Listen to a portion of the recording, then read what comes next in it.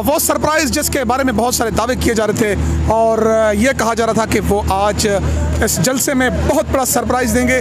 उस जलसे में सरप्राइज़ क्या मिला? बिसमीम वीडियो के शुरू में भी आप लोगों ने देखा कि पीटीआई के जलसे से जब लोग वापस आ रहे थे तो उनसे जब ये सवाल किया जा रहा था कि आपको इमरान खान साहब ने क्या सरप्राइज़ दिया, जिसका पीटीआई की जानब से पूरा हफ़्ता हो गया ऐलान किया जा रहा था कि सत्ताईस के जलसे में कौम को बड़ा सरप्राइज़ देंगे। पीटीआई की क़्यादत भी यही कह रही थी और इमरान खान साहब भी यही कह रहे थे।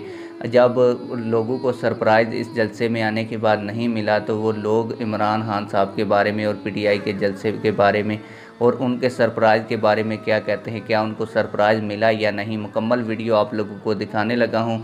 लेकिन आप लोगों को वो वीडियो दिखाने से पहले आप लोगों से एक छोटी सी रिक्वेस्ट है। अगर आपने अभी तक हमारे चैनल को सब्सक्राइब नहीं किया तो जल्दी से चैनल को सब्सक्राइब कर दें क्योंकि आप लोगों को इस तरह की वीडियो सबूत के साथ मिलती रहती हैं। आइए आप लोगों का टाइम वेस्ट नहीं करता और आप लोगों को वो वीडियो दिखाता हूँ।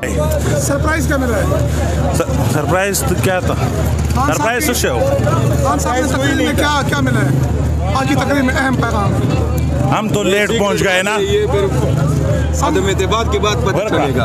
आप क्या कहते हैं? सर सरप्राइज़ कोई नहीं था। कोई जिसके लिए हम आए थे वो चीज़ नहीं थी। अच्छा। जिसके लिए हम आए थे पिशावर तबीर से कुछ मिला बिल्कुल कोई ऐसी नई बात नहीं थी। अच्छा। सब पुराना था। सारी पुरानी सब पुरानी बात मायूसी हुई है? नहीं मायूसी तो खैर नहीं हुई। हम पिशावर से आए हैं इसलिए नहीं है कि हम मायूस होकर जाएँगे। लेकिन वो वो सरप्राइज़ नहीं था जिसके लिए हम आए थे। वो चीज़ नहीं थी। Thank you